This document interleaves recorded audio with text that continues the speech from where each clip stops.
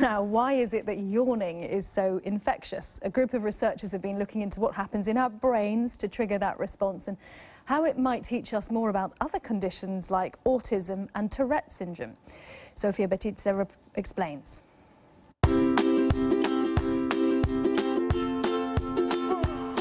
You're yawning now, aren't you?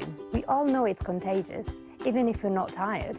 A new study says that yawning is triggered by an automatic response in the part of the brain responsible for motor function.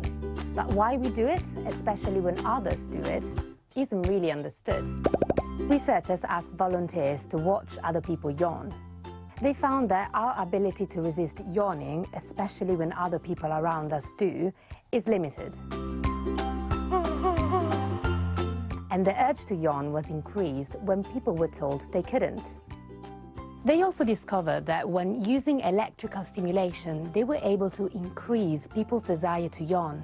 This is important because understanding more about it could help treat other conditions like Tourette's, which involve the same area of the brain.